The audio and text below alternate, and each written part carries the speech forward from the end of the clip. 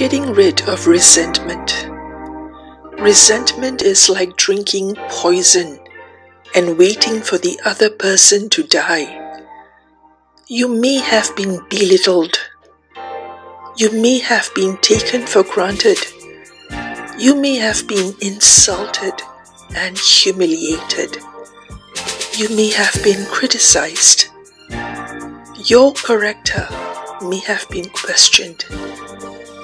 It's not easy experiencing these. They attack and compromise your self worth, self esteem, and self respect. You may take many months. If the emotional damage caused is severe, you may even take many years to heal.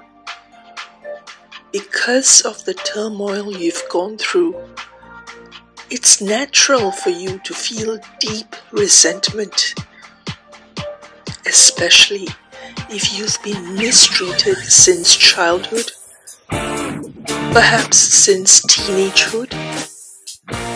Resentment keeps you imprisoned mentally, emotionally, and spiritually. You will not be able to experience positive emotions like love, joy, and peace if you harbor resentment. You will not be able to fully enjoy and celebrate your victories if you allow resentment to reside in you. Resentment is self sabotage. It steals your right to a joyful life. You may think you're justified in being resentful. I'm here to tell you that there is absolutely no justification for robbing yourself of your one opportunity to live life to the fullest. Whatever the reason for your resentment, forgive those who have caused it. More importantly, forgive yourself for allowing others to mistreat you. Understand and know that you have no control over their behavior and choices. Understand and know that their actions could be due to emotional scars that have not healed. Perhaps that is the only way they know how to treat a person. This has nothing to do with you. Once you realize that you don't need to waste time and energy on something that's not you, you will be free to choose what's best for you.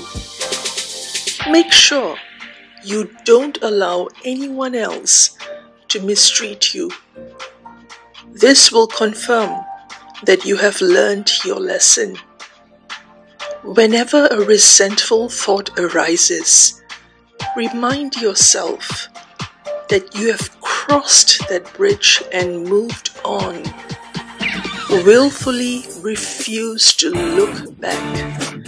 Choose not to go down that road. When you find yourself in a situation that makes you feel and think less of yourself, politely excuse yourself.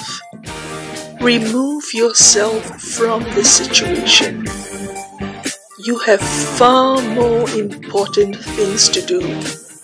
You have your life to focus on. Choose not to give room for judgments and destructive criticisms. Make it clear that you will not allow yourself to be attacked. Be assertive.